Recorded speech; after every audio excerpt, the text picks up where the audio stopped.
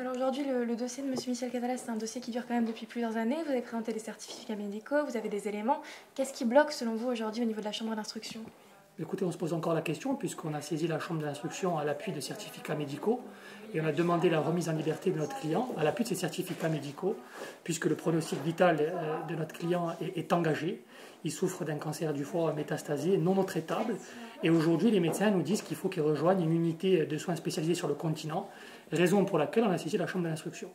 Euh, aujourd'hui, l'arrêt qui est tombé refuse euh, de remettre en liberté notre client pour qu'il rejoigne un établissement toulousain spécialisé et on estime que ce traitement et, cet arrêt est inhumain.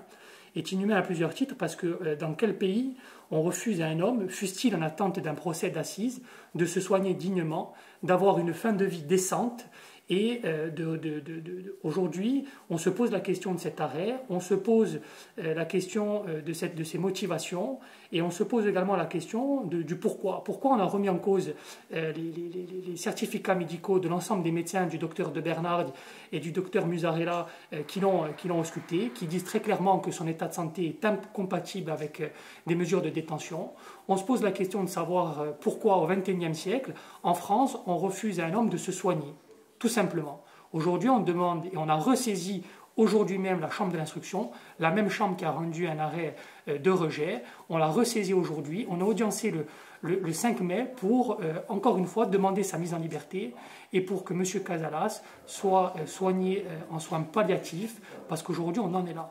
Aujourd'hui, ce qui nous importe, c'est la fin de vie de M. Casalas, c'est son état de santé. Ce n'est pas le procès qui certainement pas pourra se tenir dans de pareilles conditions, que M. Casalos soit vivant ou non, quand on est dans un état de santé critique, quand on connaît euh, le caractère dur et, très, très, violent d'une cour d'assises, je ne vois pas comment M. Casalas peut décemment se défendre le 17, le 17 mai. Voilà.